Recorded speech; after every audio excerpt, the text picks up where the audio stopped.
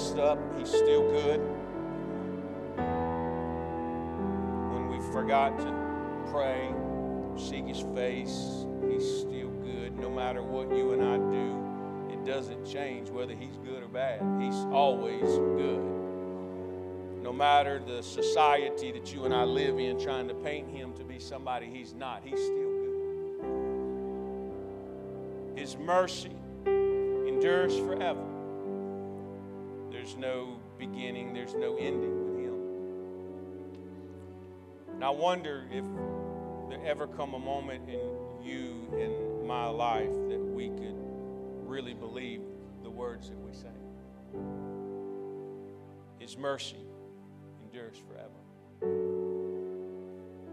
If we were to begin to think about what He has done for us and where He has saved us from and the, the goodness that He has bestowed upon us, what a difference our worship would be.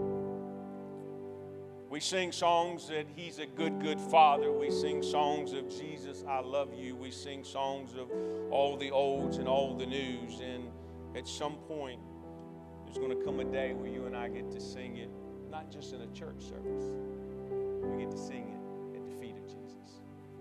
why? Because His mercy endures forever. And I can't wait for that day. I long for the day that everything that we've ever preached about, everything that we've ever been taught about, comes to pass. And no matter the society that's out there that tries to cancel the Bible, try to cancel anything that they don't agree with, well, there's one thing they'll never cancel the love of God and who He is. Because He is love. And so today I want to talk to you about faith because it's going to have to take faith for you and I to sustain this society in which you and I live. And so if you have your Bibles, I want you to turn with me to the book of Hebrews, chapter 5. Hebrews, chapter 5. Again, let me thank you for attending today. And on behalf of First Lady, I know they and my family miss being here. And everything they can to ensure your safety is they're tuned in no doubt. But in hebrews chapter 5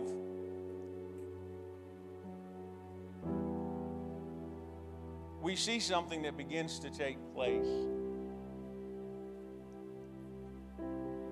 In verse 12 the bible says and for though by this time you ought to be teachers you need someone to teach you again the first principles of the oracles of God. You have come to need milk and not solid food. For everyone who partakes only of milk is unskilled in the word of righteousness, for he is a babe. But solid food belongs to those who are of full age that is, those who, by reason of use of their senses, exercise to discern both good and evil. And if you'll flip to Luke chapter 8.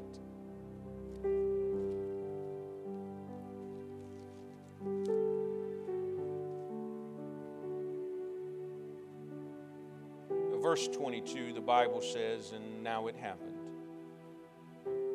on a certain day that he goes into a boat with his disciples and he said, Let us cross over to the other side. And they launched out.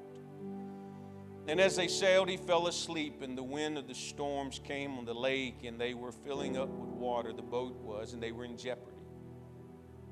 And they came and awoke him, and saying, Master, Master, we are perishing. Then he arose rebuked the wind and the raging of the water, and they ceased, and there was a calm. And he said unto them, Where is your faith?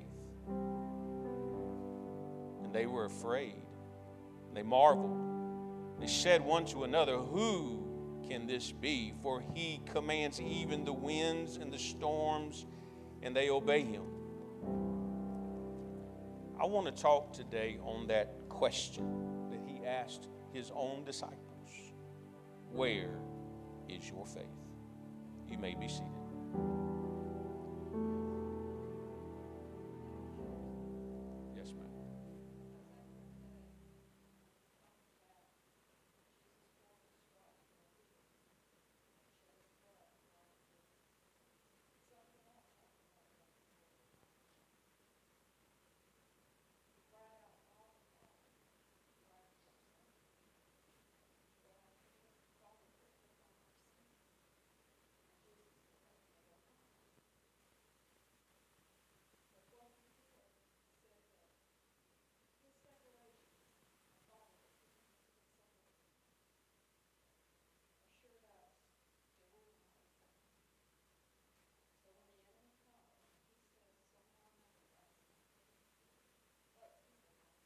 That's right.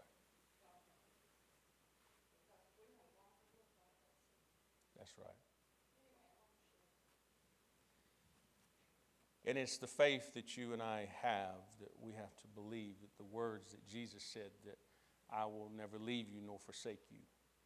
And the enemy will come and plague our minds, and the enemy will come constantly at you and I in the battle that rages and uh, attacks us. But one of the things that you and I need to understand is that God is always the deliverer of His word.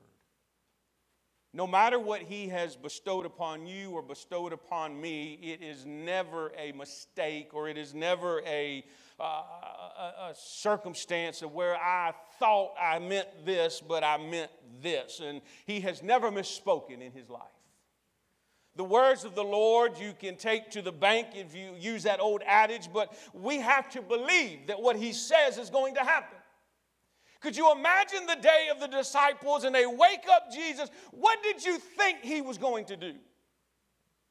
I don't think they thought he was going to speak to the wind and the storms. I don't think that he thought that he was going to calm it down because they asked the question What manner of man is this that even the winds and the storms obey him? What did they possibly think Jesus was going to do? Help them row the boat? Help them throw the water out?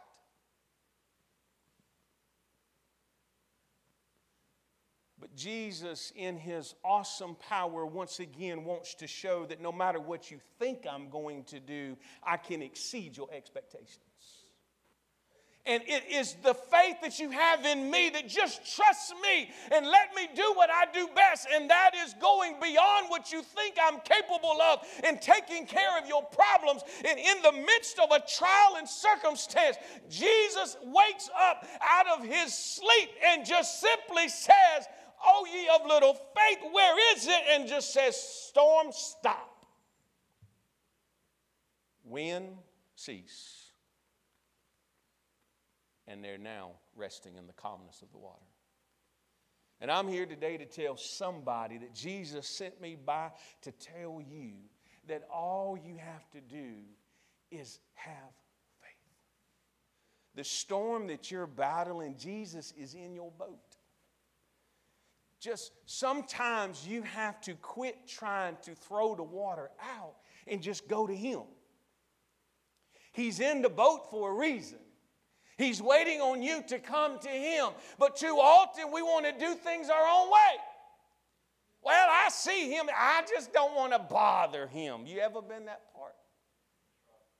I, I, I, he's my lad. I just want to let him sleep. He's had a long day, and I just want to let him sleep. I think I got this taken care of, only to find out you don't have it taken care of. You're in a mess and you need to go to the master of the sea. You know, we sing that song, I know the master of the wind. But we don't want to go to him. We sing the song, The Anchor Holds, but we don't want that. We only want those as last resorts. Why do we go to God as last? If we have faith in Him, should we not go to Him first? See, we have to understand things like this. The world has politically criticized us and tries to make us be politically correct in everything that we do. But I would much rather be spiritually correct than politically correct. I'm not here to pacify somebody in a pew. I'm here to ensure that you make eternity your destination. And if that means somebody being mad at me on this side, but being glorified on that side, then praise be Jesus' name. It is this that we live and die. He died on the cross so that you and I could live. We're not here so that we can pack a pew, we're here so we can pack heaven. At the end of the day, Jesus is the one that receives all the glory. See, one prophet tried to search him out and look, but we find this. In fact, it says in the beginning. He was from the very beginning. Genesis 1 and 1. In the beginning, there is nobody before him.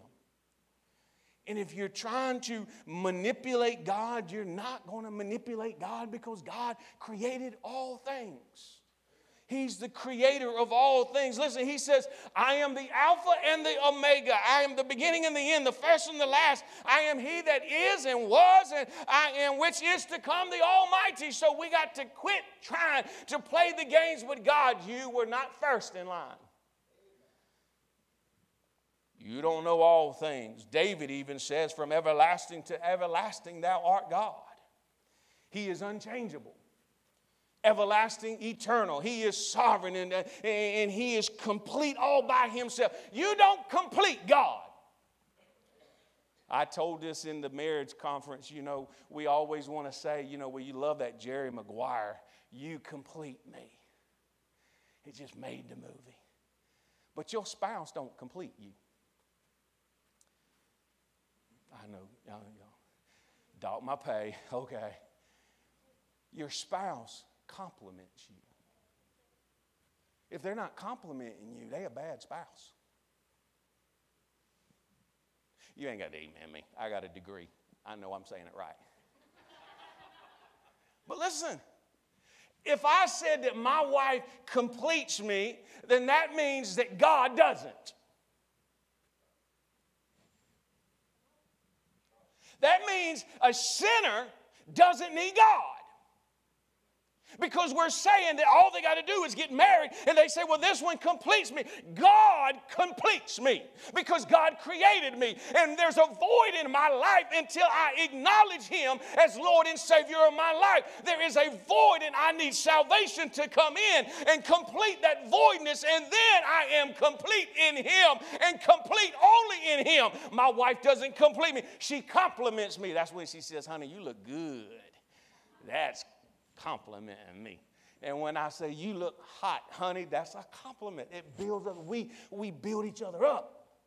We encourage each other and say, honey, you got to keep going. You, now is not the time to quit. We help each other out. But God is the one that completes us. But the world wants you to think that when you get married, that this is the one that completes you. Jerry Maguire was a movie, not reality. Show me the money. Money ain't going to give you happiness. Because the more you make, the more you want. And the more you have, the more bills you're going to have. Because then you're like, well, I, I, can, I can afford a bigger house. I can afford a bigger car. I can afford all it. And then what begins to happen? Then you get this, and then, well, I can afford two cars now. I can, and then before too long, you lose your job, and now you're in debt, and now you just wonder, and then you blame God. Have faith that God's going to take care of you. But watch this. Beside, God says, Besides me, there is no other. We treat God as if He's our second wife, our second husband, or our second, if you're not married, your, your, your, your extra fling. Better be careful. Get myself in trouble. My wife ain't here. I better be careful. But look, make no mistake about it. He's more than just a little bit of energy, more than just a little bit of electricity. He is sovereign. He is the one that died for you. And you got to have faith that even when everybody else neglects you, He's still there. Even when the world turns its back on you, even when your family turns its back on you. Because listen, I love this part right here that everything about God is moving. God is moving constantly. He is moving constantly. Every time that you read anything about God, He is moving. When you see Him on the point in Genesis 1 and in Genesis uh, chapter 1, verse 2, He is moving in the garden. When you begin to see Him on the water, Jesus is moving. When you see Him in Revelations, He's moving. When you see Him coming down from heaven on the white horse, He's moving. Everything about Him is moving. So let me ask you the question why aren't you moving? Why have we become so stagnated and saying, well, I, you know, he says stand still, and okay, stand still, yes, and wait on him, but your worship should still be moving. Your hands should still be moving. Your lips should still be moving. He said, stand still. But he didn't say, shut your mouth. He didn't say, keep your hands to yourself. I know y'all sound like we in preschool right now, and I'm giving the teacher instructions or something, but God wants you and I to move towards Him. And the more that we move to Him, the more that He'll move to us.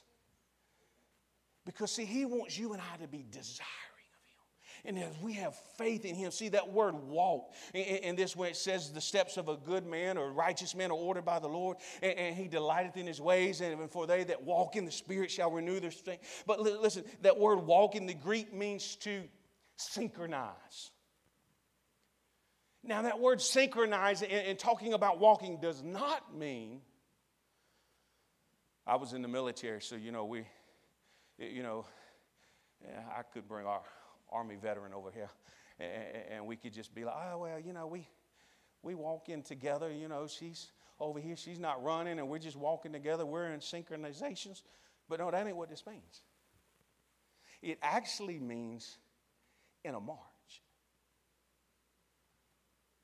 So when God says about walking in the Spirit, marching means with authority. He wants you marching with authority. So you have to move, and in those steps, you got to be able to march. Why? Because the enemy's coming against you, and he's going to challenge your authority. Do you have authority in God? Yes, I do. Why? How do you know that? Because at the end of the day, I got to have faith that he said I do and the enemy's going to challenge your faith. And so the question still remains where is your faith? Today you got to touch somebody and say, Do you got some rhythm? Do you got some synchronization in you? Do you got a march in you? So that when the enemy comes against you, you have the authority. You are a powerful, mighty army in Jesus Christ. So you got to get to the beat. You, you know, man, my mind is going to this the rhythm is gonna get you. The rhythm is gonna get you. That's a worldly song. Y'all don't criticize me, but that's where my mind's at right now. But listen, the rhythm of the march of God. There is a march that you and I, we got to get in sync with God. And the enemy's trying to get us distracted. Over here, oh, look at that person right there. Can you believe they wore that to church? Can you believe they sing it off tune? Can you believe that they did that to their hair? Can you believe this? And can you believe that? And can we not just come to church and worship God? Can we not just come to church and say, Can you believe that they're here? Praise Jesus. Can we not just be like the nutty? I'm, I'm, I, I need to get off this stuff.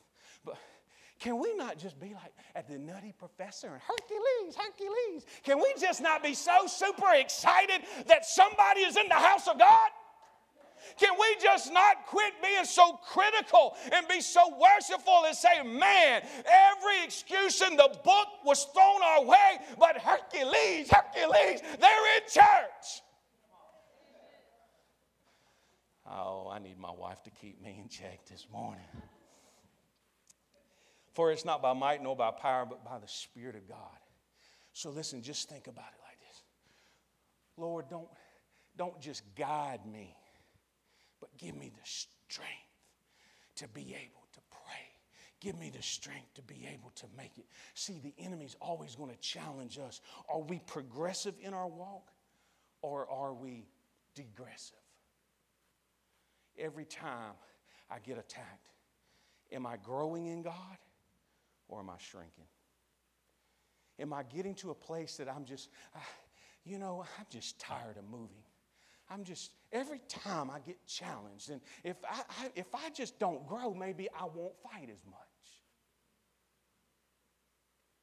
Well, isn't that what the enemy wants? Ask yourself the question Would God challenge you to lose you? Or would God challenge you to grow you? The enemy will challenge you for you to lose God. And he'll paint it as if it's God's fault when it's really his fault. And so, listen, you got to get to this thing. The Lord is a very present help in time of trouble. Do you believe that? If you believe that, then you got to exercise your faith.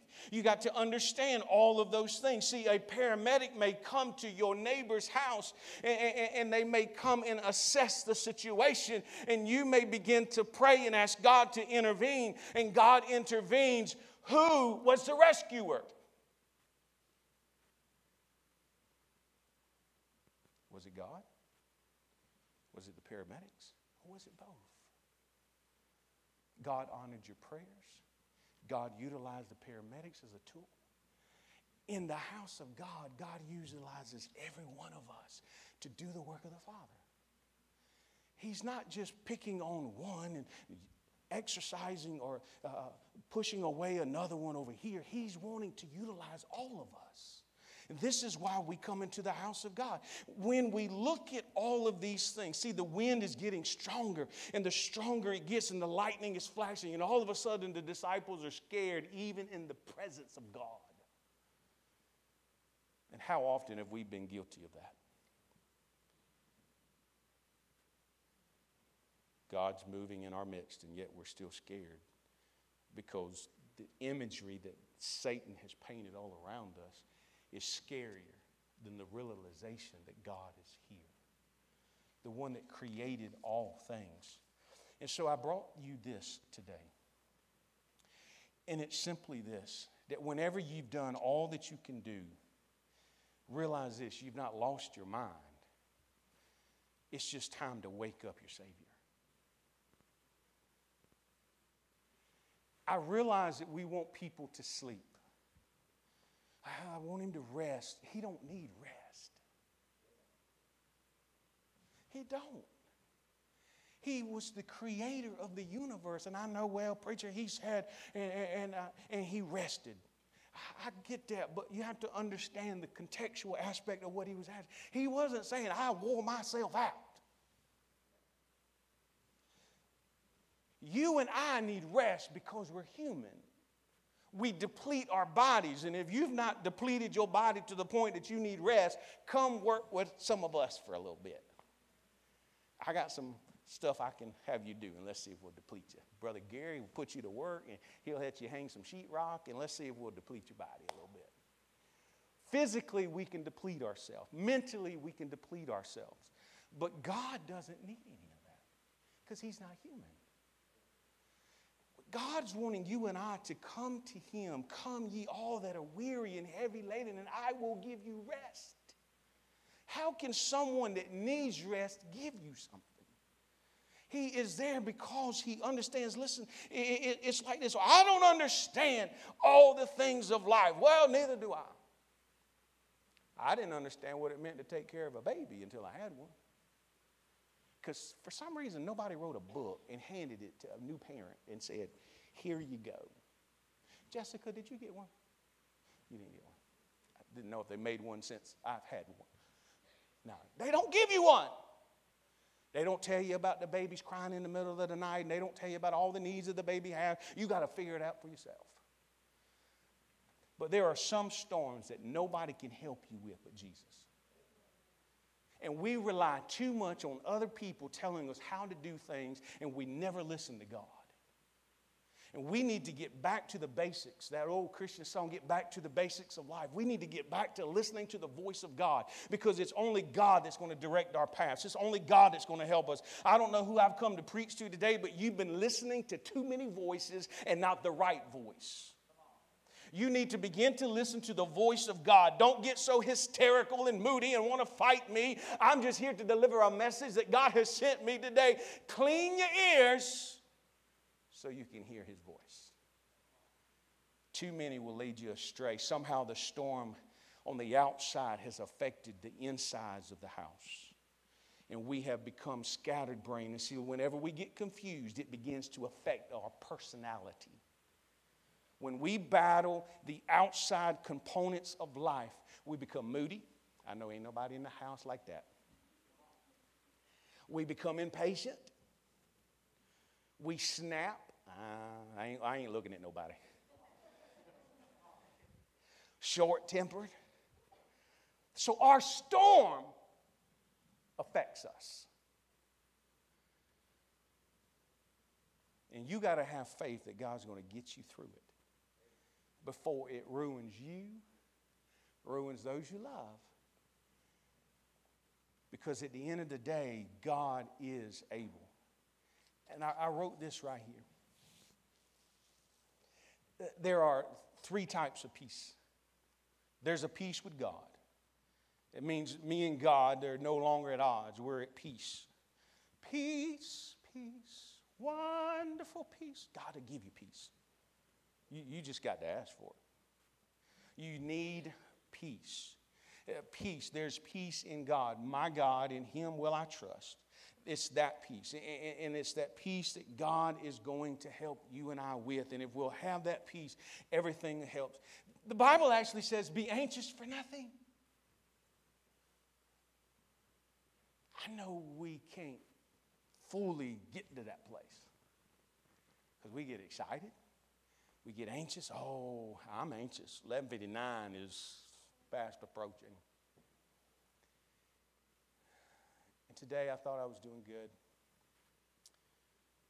And my computer was making a noise. I had tapped into the home computer while I was working at the office and it was making a noise. And I did what nobody should do I hit a button and I lost all my work. And so I'm anxious. And so in between services, I'm going to work like double time, triple time. I need to clone three or four of me to get it done. But I do know that God already knows what I'm going to make on this paper. So I have to trust Him that that X that I hit was not on accident. and I got to have faith that somehow I'm going to recover that. But sometimes you and I have made mistakes. You didn't mean to. And as soon as you hit the X, you went into panic mode. Your whole world went into a panic.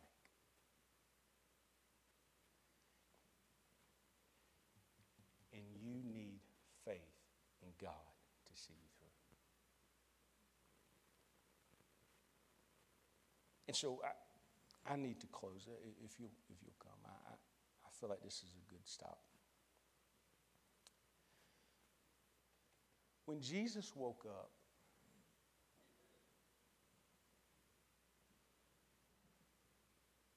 Jesus just asked a question Where is your faith?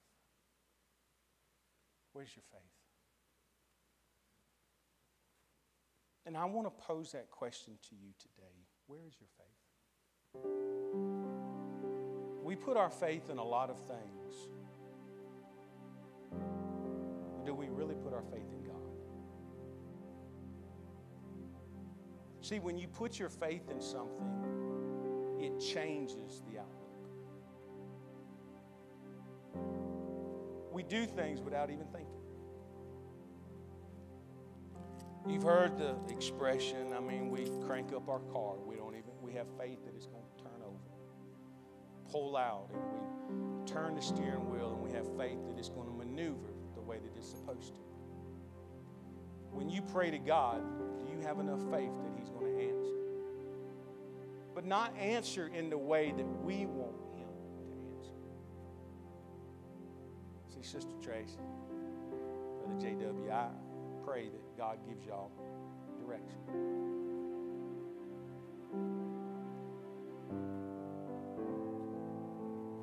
And it may not be the way that you want. And even though that's a rarity, maybe that you can walk away from something and instantly y'all both agree.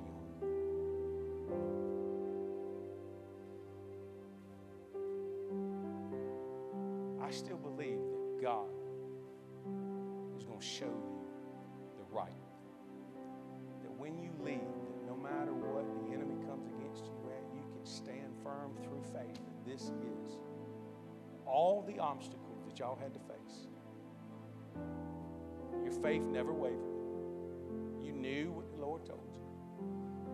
And through every step, you held true. So when you have faith in something, no matter the storm, it never diminishes. Actually, it's reversed. It actually increases. Because God begins to prove Himself little by little. And you know what you know. And as it begins to solidify and He begins to reveal the big picture, you can step back at the allness of God and say, Where is my faith? That even when I wondered at times, He was still faithful. Even when I began to doubt a little bit, He was still faithful. And so, everybody has moments where the water comes in our boat. Everybody has moments where it seems like the boat is about to sink. My question is how long does it take for you How long does it take for you to wake up Jesus is in the boat? And so I want you to stand.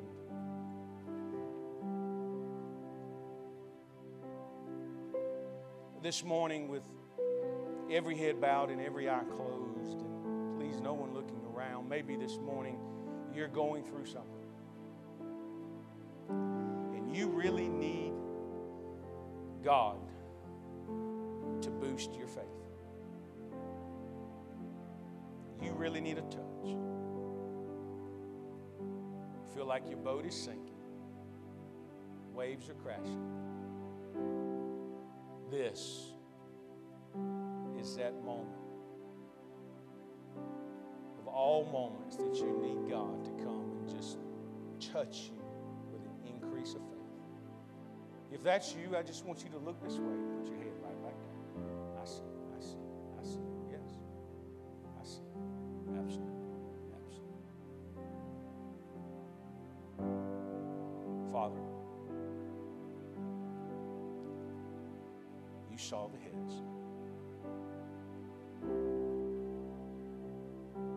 I want you right now to move.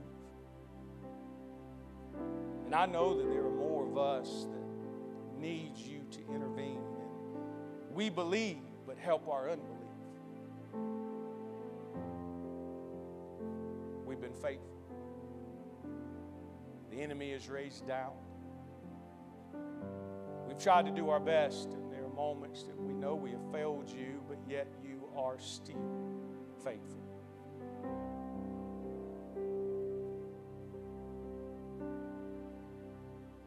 We're in this journey with you, and we realize that you're there. It's taken a while for us to wake you up before the storm gets too bad, before the trial gets too hard, the circumstance too damaging. Father, I pray right now that everyone the sound of my voice and everyone through social media, but especially these that acknowledge that they need a boost in their faith, God, that they would symbolically reach over and just wake you up. Wake you up. So, Father, as I pray, I pray diligently that you would move, that your presence would come into their situation. And so, right now, Lord, God, would you wake up? As we shake you as passionately as we know how, realizing that the circumstances is way out of our control. We apologize. We've waited so long. We desperately need you to intervene in the boat of life we're sinking. the same way that you've asked the disciples, Where is your faith? God, we acknowledge that our faith at times is low, and we're coming to you today saying, God, boost my faith. Boost it. I believe in you. I believe that you're able to intervene in my circumstance in the same way that you were able to speak to the storm, in the same way that you were able to speak to the wind and the waves and they obey. I know that you can speak to the circumstance of each and every one of us today and bring a calmness, bring healing, bring restoration, bring a breakthrough, bring a word. The troubled spirit that's plagued them, let it cease right now. The anxiety that seems to be overwhelming, let it be calm right now. The concerns that has caused them to lose sleep and lose hunger, all because of the complexity of the situation. God, I pray right now that you would move. Your word simply says, Where two or three agree in my name, it shall be done. We come together as a body of believers, pleading and interceding on behalf of your people. I believe that this is the day faith arises. Faith arises. That you're stirring right now, Lord, that you're moving in an atmosphere and that you're going to begin to change some things and that you're going to begin to stir in power. In power. Right now.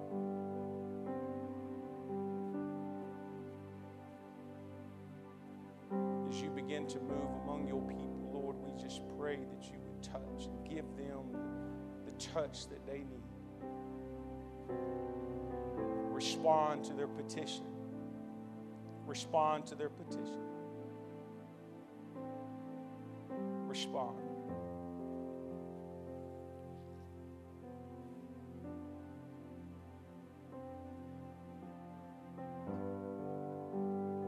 faith tells us to call upon the name of Jesus.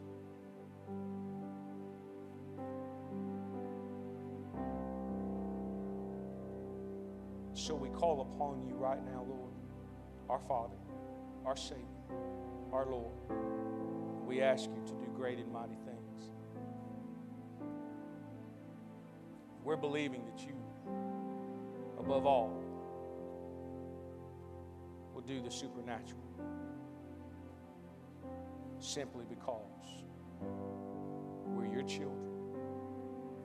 We're asking you, Lord, we're awakening because we have faith that you were able. You were able.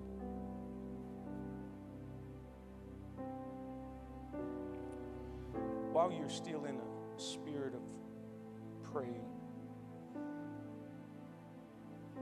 our praise team approached me this morning as you know, Sister Scotty is battling chronic kidney disease, and wanted us to do a prayer cloth to send to her. So we're going to do that, and then we're going to conclude with communion, first of the month. So, uh, Brother Jim, as Sister Scotty's husband, if you'll step forward, we're going to pray. An exercise of faith. The stripes that Sister Carter had made mention of.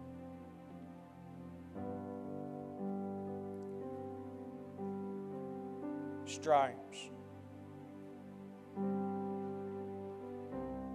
39. He willfully took for you, for me, all for the sake of there have been moments that you have had to call upon the name of Jesus and He's responded. There have been moments that I've called on Jesus and he's responded. now we have one of our own that needs us. And I don't know what it's like to produce stone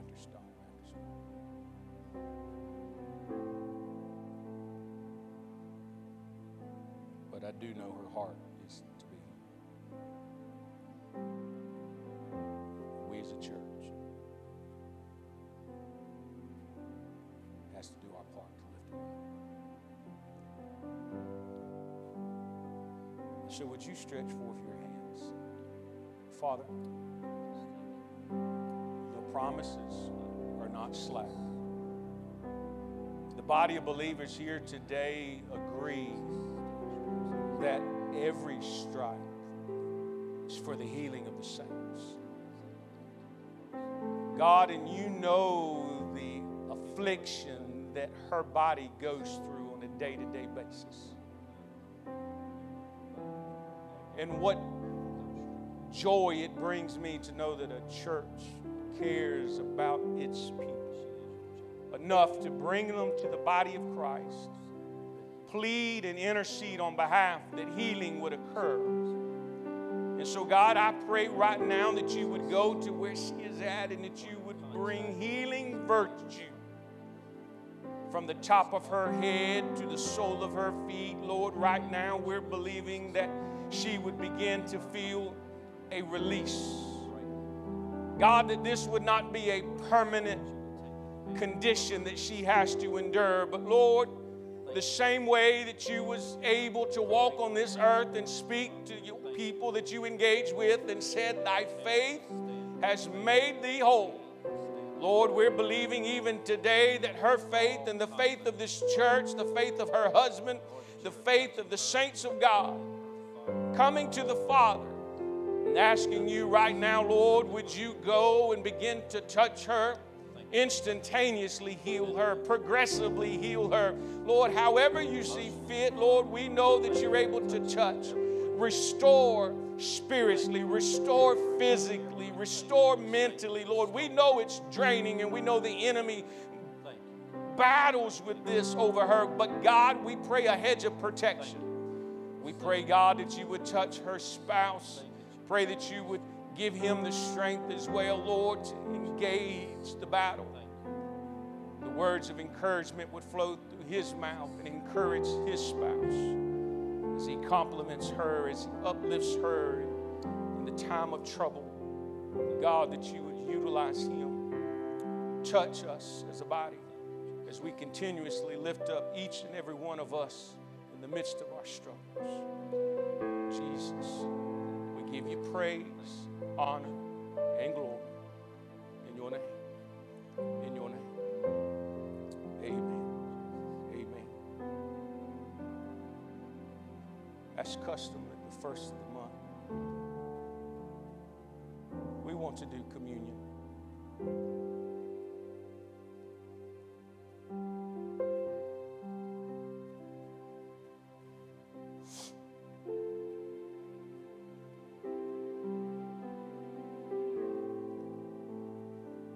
There's something about this time of season.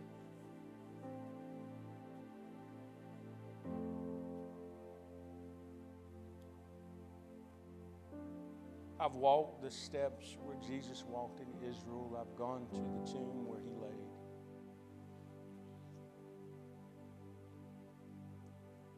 And it's one thing to read it in the Bible, it's another thing to see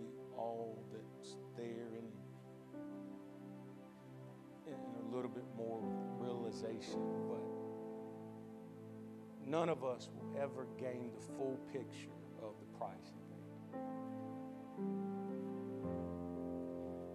When my dad was stationed in the Philippines,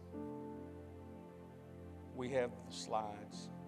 When servicemen and those in Philippines, they would actually depict every year crucifixion of Christ. And many of those would walk the walk, and some would still go all the way to the cross, be hung, sides pierced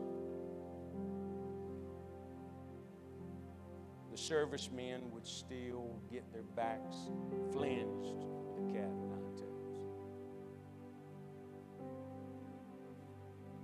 They would wear a cover over their face so that they would not be reported. But they did it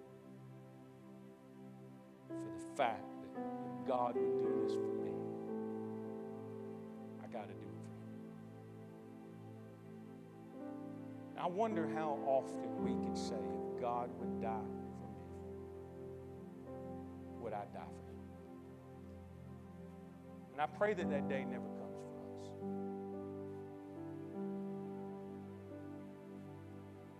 But in the world that you and I live in, that day's coming.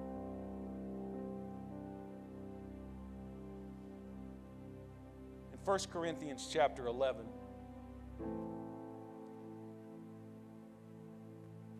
we read, beginning in verse 23, we begin to read where Jesus tells them, as often as you get together, you do this in remembrance.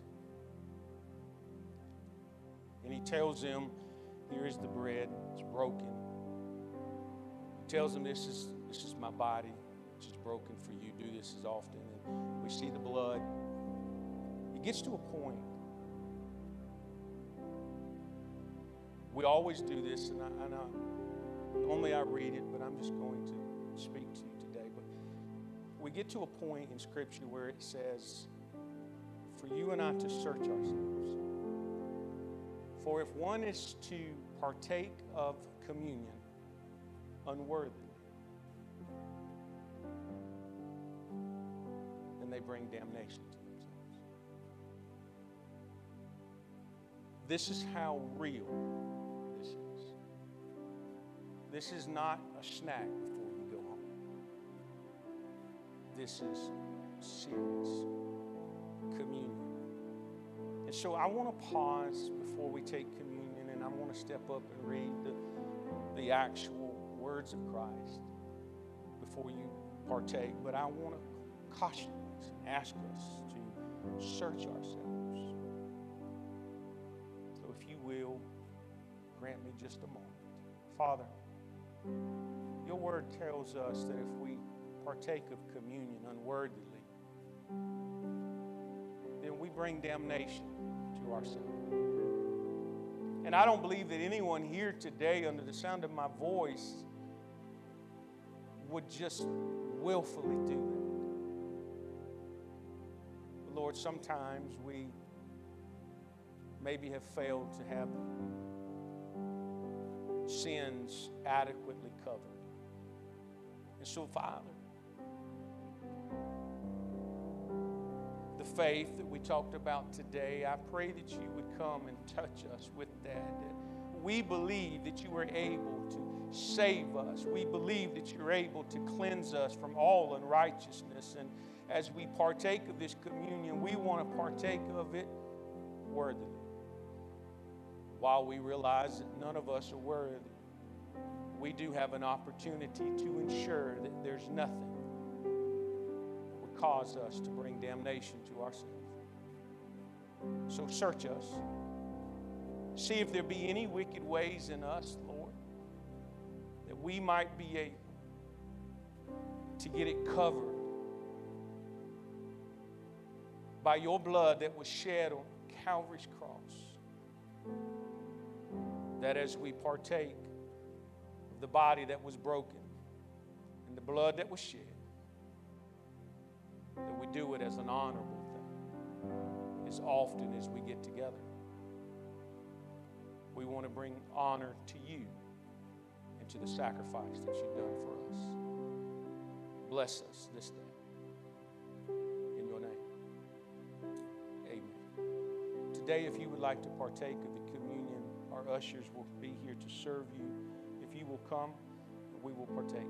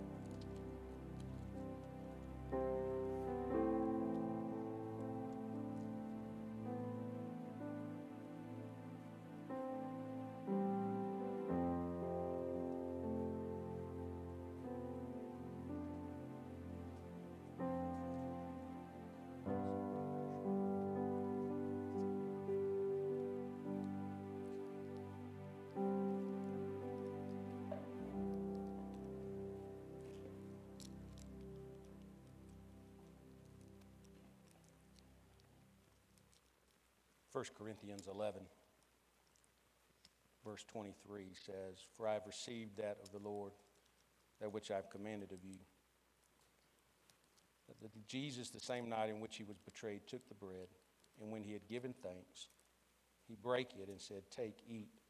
This is my body, which is broken for you. This do in remembrance of me. May we always remember the body, the sacrifice the brutality that Jesus went through for you and my sin. Would you partake?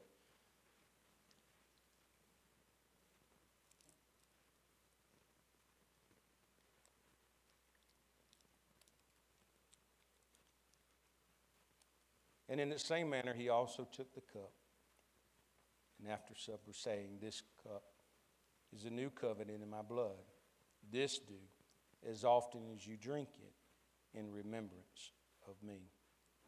The blood, and only the blood, is what saves you and I from our sins. Would you partake?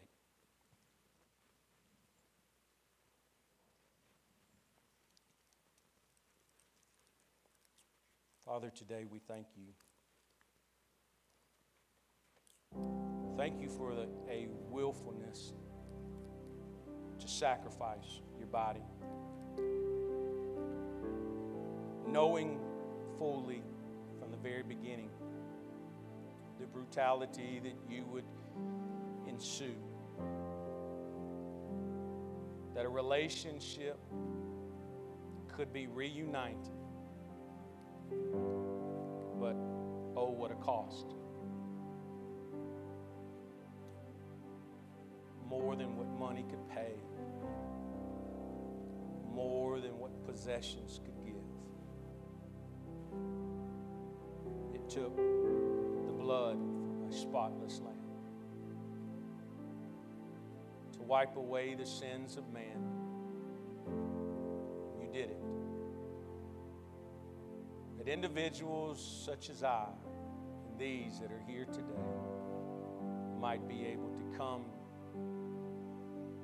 and ask for forgiveness of their sins and know that the blood, it's never lost its power is able to save that which is lost. Lord, today as we've honored, according to your word, sacrifice, would you bless us? Give us favor. Move mightily upon us. As we go our separate ways, Lord, this week, would you help us to be intentional about our worship, intentional about our faith, and intentional about the love that not only do we give others, but the love that we give to you because you were intentional about giving us love. Bring us back, Lord, tonight at 6 o'clock, ready to worship. Bless our meeting at 4.30. In Jesus' name, amen and amen. God bless you. Thank you so much. Don't forget the sign up sheets out in the foyer.